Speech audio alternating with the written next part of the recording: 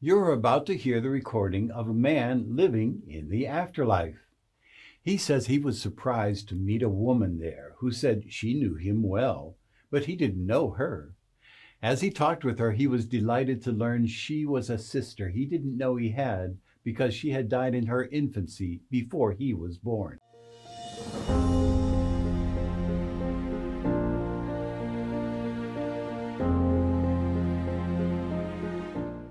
Hello, I'm Dr. R. Craig Hogan, President of the Afterlife Research and Education Institute and Seek Reality Online. You're about to hear the recording of the voice of Alfred Pritchett. Pritchett was killed in World War I on August 16, 1917. The recording was made on November 4, 1960, 43 years after his body had died. Pritchett spoke in a session with Leslie Flint. Flint was a direct voice medium who sat in the dark and voices came from the afterlife. His work was tested by a great variety of researchers. All found that the recordings were not coming from Flint or from any other source in the room. They came from the afterlife. Today we have thousands of these recordings. This excerpt from Pritchett's recorded conversation describes what Pritchett was seeing when he was being shown around the afterlife by a guide he calls this friend. Anyway, eventually, um, time came uh, when this friend who brought me here came over to me again. He says, I want to show you something. So I says, oh, all right, mate. So I went with him and we went outside and he took me down uh, another street. Little houses there, very attractive they was, with um, little balconies and flowers and all beautiful flowers. I've never seen such flowers and he took me down the end of this road. and We came out to a big square, like a sort of street square of a street, and there was a big fountain playing in the middle, and uh, I could hear music. Oh, it was smashed, wonderful music. It was beautiful music, and uh, I thought this is a little nice. It reminded me of the old days when I used to sit in the park and listen to the band, but this band was something out of well, it wasn't out of the world. It was. It was magnificent, playing away there, beautiful music. I didn't know what it was, but it's marvelous music. I saw these instrumentalists sitting there. They look real marvelous. They did. The funny thing is, they haven't got uniforms on. They've got this sort of robe business on. I thought, well, that looks very nice. But, um, but I might look a bit odd in one of them outfits. But um, anyway, I thought thinking about that now. And I thought, well, what am I wearing now? And I looked and I was wearing a suit again. I thought, oh, yes, that's right. And uh, everything was going on all the same time in my mind. I was probably sort of bewildered. Anyway, we sat down on a little bench and under a beautiful tree, beautiful blossom on it, and I was listening to this music. And um, I was sort of being really carried away. And um, my friend said to me, he said, be often come and sit here and listen to music. It's very pleasant.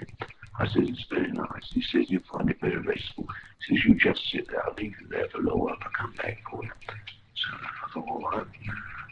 So I just sat there and listened to snappy music. And uh, I really enjoyed that. Um, and uh, anyway, I sat there with my eyes closed, of listening to this very nice music. And then all of a sudden, I had a sort of feeling that there was something, someone sitting next to me. And uh, I and I looked. And there was a very beautiful lady. She was really beautiful. Beautiful blonde hair she had, fair, very beautiful. She looked about 19 or 20, and I, I was really sort of taken back when she says, uh, well, she called me by name, that's right. And I thought, well, that's funny, she knows my name, I don't know her. So she said, uh, are you finding it very nice here? I said, uh, very nice, thank you, Miss. So she said, you don't have to call me Miss. She says, don't you know me? I said, no, I don't know you. She says, my name is Lily. So I said, Lily, I don't know no Lily. Sorry, I says, I don't want to appear rude, but uh, I don't know you. She says, you don't know me. And yet she says, uh, that's not surprising in a way. She said, but I'm your sister. I died when I was an infant. Cool, love. I says, I remember my mother said talking about a little girl that died when she was only a few days old or something, if I remember right.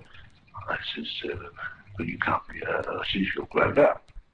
So she says, that's fine. She says, I'm your sister. I, I died when I was an infant. I'm grown up here. So I says, well, beats me. I says, I'm very pleased to know you and I feel quite happy knowing you, but uh, still very puzzling to me that you should be my sister. And I never knew her. I mean, so she said, well, don't let that worry you. She says, but I'm going to look after you now you're here. And uh, she says, you come with me and I'm going to take you home. I says, home? She says, yes, home. So I says, oh. Anyway, I went with her and she took me out of the square down a very broad avenue lined with trees. And uh, we branched off and we went down a slope and it seems as if we were going outside the town altogether. And we went out into the countryside down a beautiful country road and I could see in the distance some small houses dotted about here and there. Gradually we arrived at a small cottage place. Don't to describe it. It was the nearest thing I'd ever seen, by the way, to, well, cottages and that seen at home in England.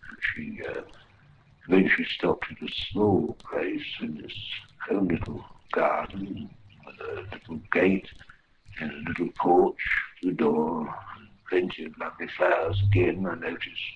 And we went in and went into this little place and off this little passageway on the left, remember, was this little room, all very cozy and comfortable, nice chairs.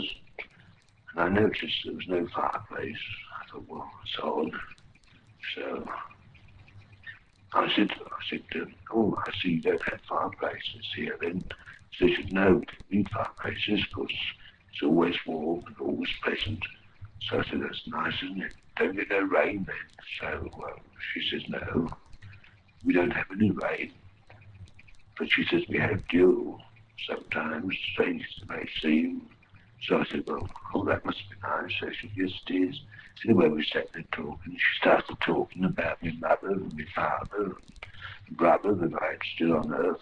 And she said she often went to see them and had been going to see them and me when I was on earth from infancy.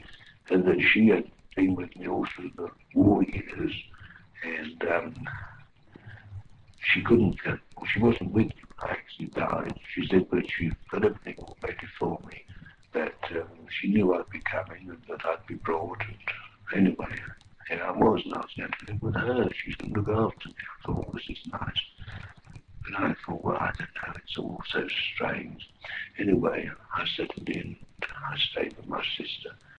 We have thousands of these recordings of people living in the afterlife speaking through the mediumship of Leslie Flint. We also have many other recordings from other mediums and recordings researchers are making of afterlife voices using standard audio recorders. You can listen to more of these recordings at the link in the description below.